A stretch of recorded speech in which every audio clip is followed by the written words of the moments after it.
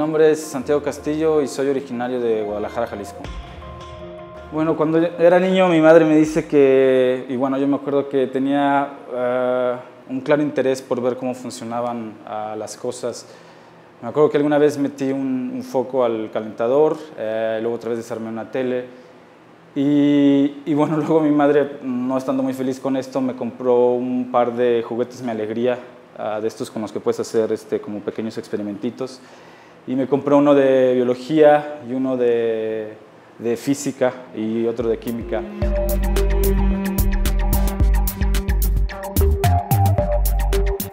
Bueno, yo lo que trato de entender es cómo evolucionan las bacterias y en ese sentido tenemos este, básicamente dos líneas. Una tiene que ver uh, si tú tienes un, una población bacteriana, donde, bueno, esto supone que son bacterias, uh, una de las cosas que tratamos de entender es si tú tuvieras, tienes el, el, el globo terráqueo, Uh, una de las cosas que tratamos de entender es cómo, cómo se distribuyen estas poblaciones eh, en el mundo y, y, cuándo se originan y cómo han sido sembradas estas poblaciones. Entonces, por ejemplo, puedes tener que aquí surgió una clona bacteriana que luego eventualmente migró desde Norteamérica a Europa y luego a África.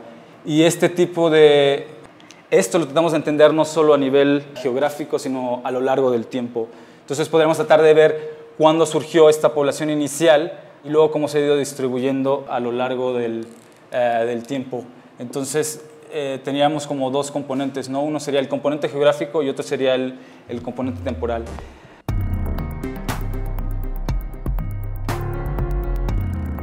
Bueno, lo que yo hago puede beneficiar a la sociedad en, en, en un sentido muy práctico y es eh, cómo combatir poblaciones bacterianas. Por un lado, lo que se podría hacer es, o lo que hacemos es identificar poblaciones bacterianas que son particularmente resistentes y entonces identificamos los lugares que están y en ese sentido podemos decir, bueno, aquí hay que utilizar tal tipo de antibióticos o tal estrategia para erradicar esas poblaciones. Entonces, en esta primera parte es identificar el tipo de poblaciones que hay y entonces eso te permite cómo erradicarlas.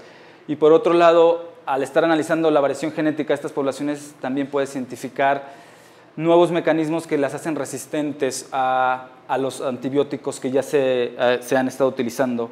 Y entonces en este sentido también te permitirían erradicar eh, estas, las, las, poblaciones bacterianas que tengan estos uh, mecanismos de resistencia.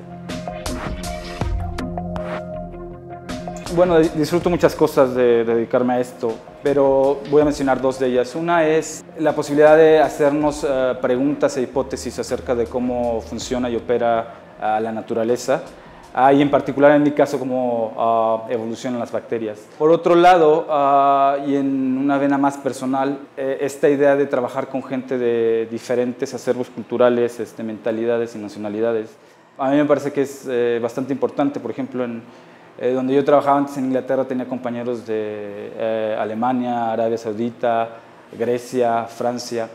Y esto obviamente no solo te abre caminos laborales, sino formas de entender la vida. Y por otro lado, hay ciertas naciones que ya necesitan gente con formación de uh, biología evolutiva y de genética de poblaciones para tratar de hacer, eh, ¿cómo se llama?, estudios de vigilancia epidemiológica.